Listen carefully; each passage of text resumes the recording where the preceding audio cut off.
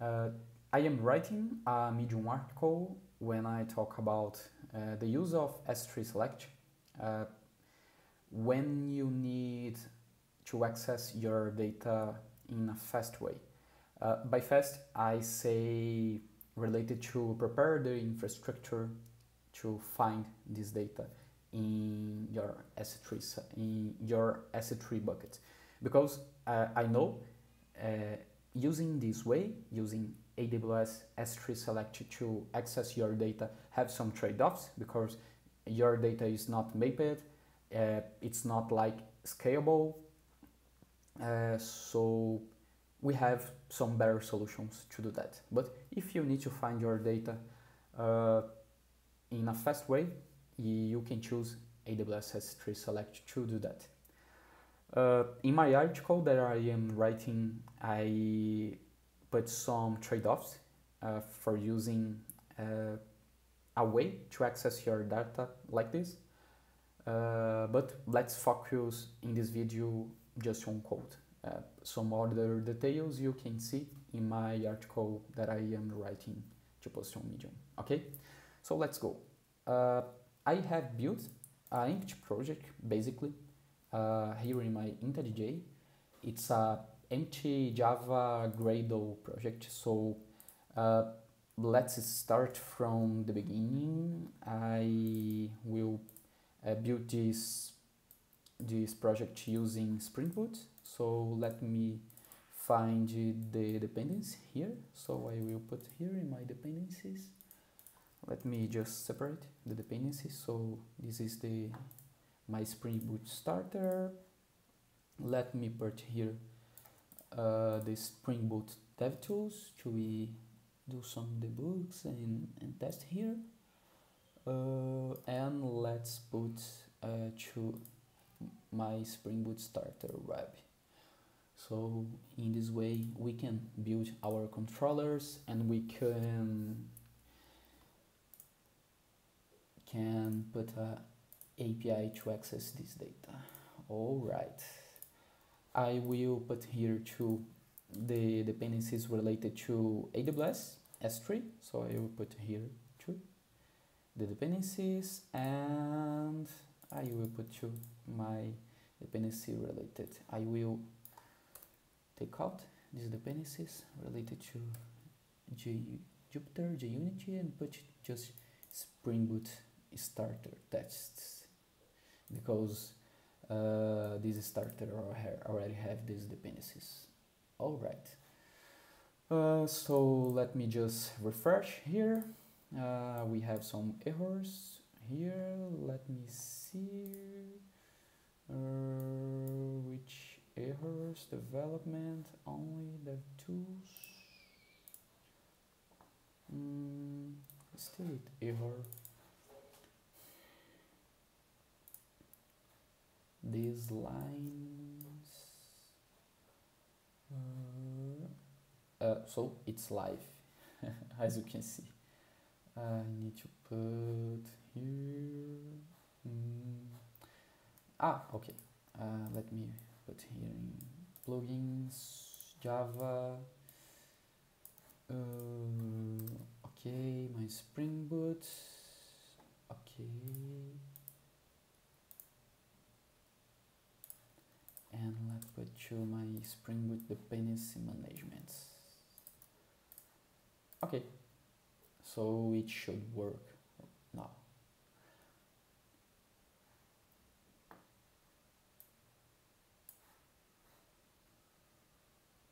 Okay, it's the loading. Let's see if the dependencies the dependencies are here. Okay, uh, while uh, we are downloading the dependencies, let's create some packages here. So uh, first I will create the package related to, sorry, uh,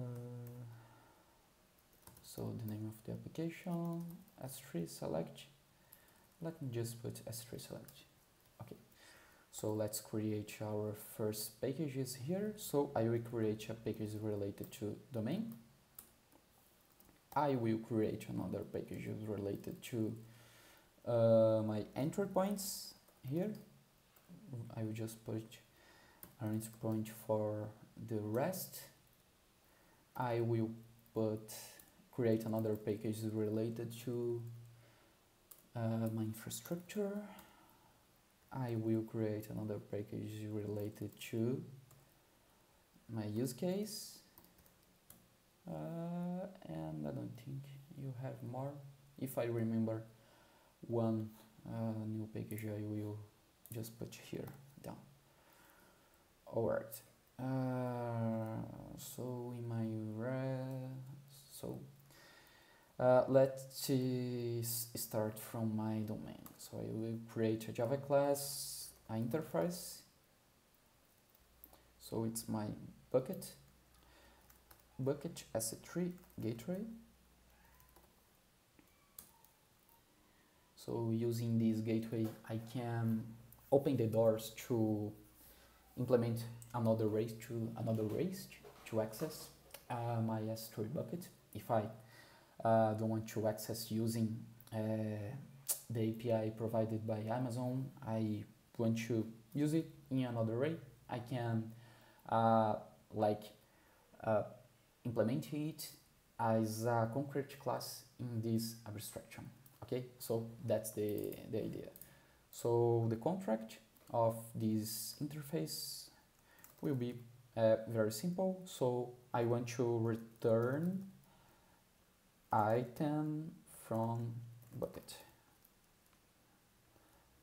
I want to return an item from buckets. Uh, will be a string and uh, I will give a field that is the field of my JSON uh, that, I, that I will search and I will give another uh, field here. That is the value. So in, in, in my JSON it's like a key value. So I can search by a field and I can search by the value of the, this field. And the idea here is that the application return only the values that only the, the objects that have this field and this value in this field. Okay? So that's it. Uh, if you are hearing some uh, sounds it's my son. Uh, he have four years old okay sorry about that so let's create uh, here in the infrastructure a package here related to the configuration of this infrastructure, right? So let's create my S3 client config. So it's my S3 client configuration.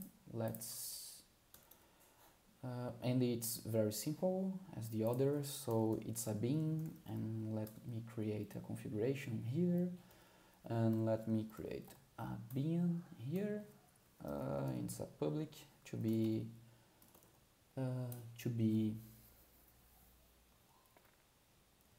to enable uh, the application to use that bean so this bean will be uh, init AWS connection so okay and we can do like that. We can just return uh, using my Amazon S3 client builder. Will be a standard connection. Uh, my credentials sorry my credentials will be default. So let's create an object. New default the last credentials provider chain. Yeah it's that. Uh, my region will be the region here in São Paulo. So uh, this this library provides uh, enum that have all the regions there is disponible for use and let's build. Okay that's it. Uh, let me see. Application context the file. Okay no problem. Okay. Mm, so okay. So that's it. So uh, here instantiate we instantiate our client. Okay. So let's create uh, now uh, the data provider. So the data provider is how we will access this S3 bucket. Okay, so let's create uh, the data provider here in the infra uh, structure. So we have the config uh, will be outside config, so data provider here. And in the data provider, we can just create like S3 data provider here. Yeah. So let's create our S3 data provider. So will be a bin2, it will be a configuration here. Uh, this data provider, as, as I say before, will be will implement the abstraction. So will be the abstraction that we have built uh, before. And in this abstraction, we have this method. So we will override this method here. Uh, but before we, we implement uh, this method, let's uh, in the constructor of this concrete class, let's just uh, receive the client, the, the client, the initialized client that uh, as a bean will be initialized in the startup of the, the application. So will be a private final Amazon S3. I will call just S3 client here. Okay, uh, uh, IntelliJ are complaining before we need to initialize and we will initialize in the public constructor, right? So we will be uh, S3 data provider, Amazon S3, S3 client, we'll call just S3 client.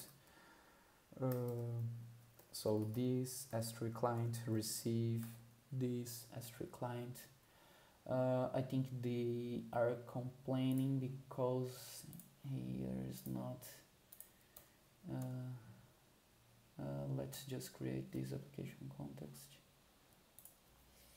mm -mm. Let me see what is that? Configure application context. Yeah. Ah oh. I, I always forgot that.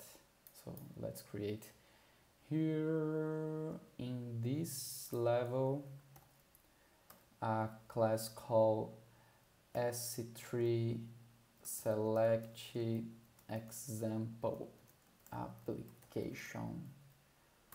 All right, so let's just put uh, the annotations here of the Spring. Uh, let's uh, put here the annotation. So it's a Spring Boot application. Uh, and let's put the main method here. So it's a main method here. And this main method here just run Spring Boot uh, application here main args would uh, let me just check this out. Mm, let me see if I am forgetting something. Uh, Spring application, yeah. Spring application, run S3, select example application dot class, and here go the args right? Let me check this out. Mm, is in a default package. Setup options. Maybe it's in a wrong package. Maybe maybe maybe. Yeah needs to be in this package let's choose refactor okay so I think we are done here yeah uh, our problems are all solved. uh, all right, all right. Where we are, so we are here. Let me just check it here. okay let me just close these guys oh so I think everything's fine now so let's return uh, to the code I will put this return null to TJ don't complain about what we are doing. So okay. So let's start. So we have we already have our S3 client here and we can use the S3 client. So let's use S3 client. So we have the S3 client here. Uh, we don't want to create a bucket. We want to list objects in a specific bucket. So we have these methods here and we have this list objects here. And we need to give our bucket name. And the bucket name it's not a nobel uh, dash prize and it's like that. Nobel Nobel prize. Okay. Uh, okay. Object listing. Okay no problem. Uh, to Uncle Bob. Stay okay with us. Let's just create a constant here. So the name of the constant will be uh, bucket name. Let me see. Okay we can create it here.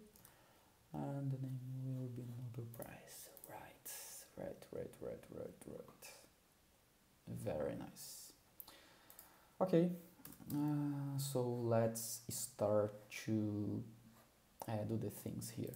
So first of all we need to uh, get the information about the objects in that list. So for it, we will create a for each. So let's create here. Let's create a for each. Uh, I, I don't like when IntelliJ do that to me. Uh, uh, so it's object listing dot get object summary. So we will like list all the information about the objects here. Uh, okay. Okay, okay, okay. Uh, and the type it's S3 object summary and let's just call summary. Let's import here. Here we go. All right. Uh, so okay, let's uh, see here it.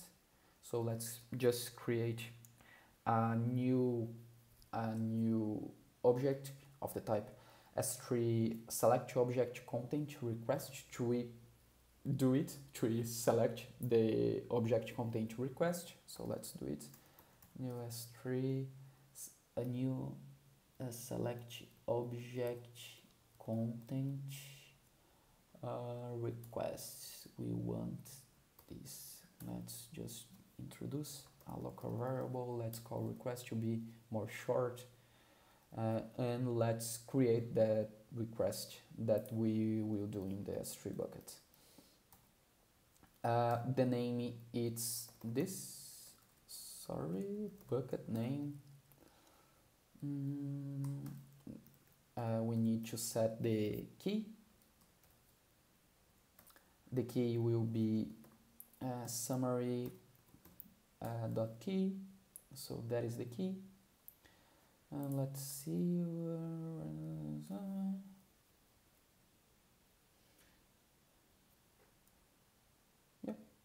I. Think it's redundant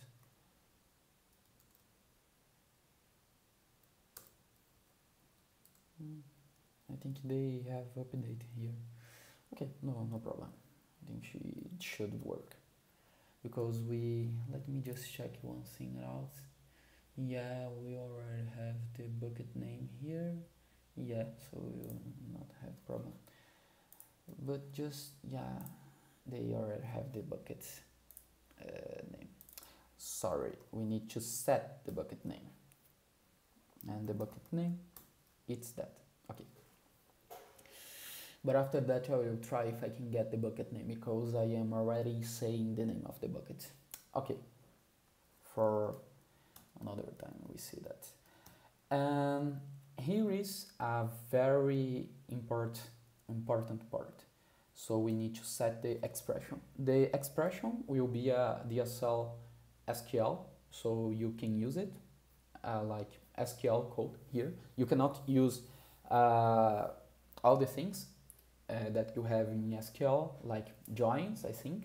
I, I will uh, I will put it in my post, but as I remember, you cannot join here uh, and do some other things. So it's very basic. Uh, just select, uh, limit some data, and to do wheres and things like that. So let's set the expression, select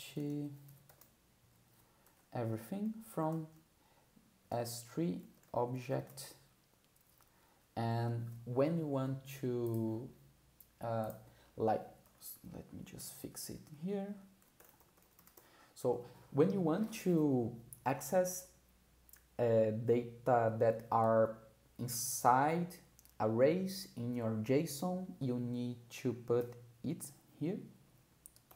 So S3 object it's the name of the bucket.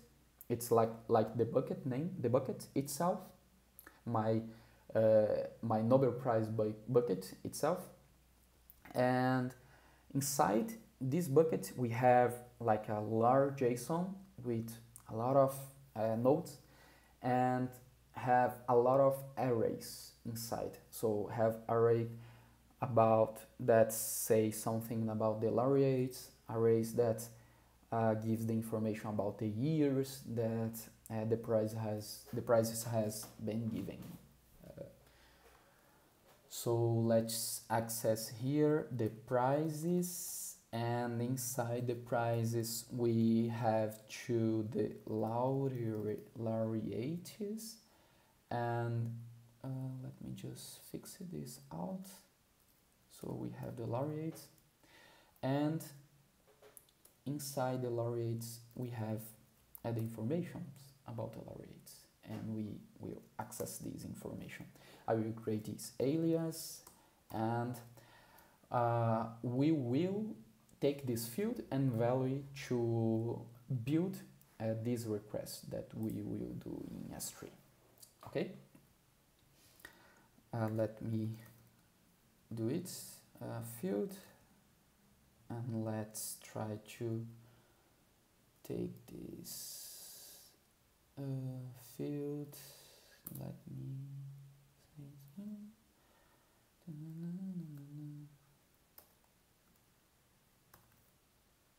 let's take the value and the value and that's it. I think we are fine here. Yeah we are fine. So we just need just to set the expression that we will do here. Expression type. So we have the expression types here. We have we, need, we, we can check the types of expression that we have here. So we can just use the SQL here.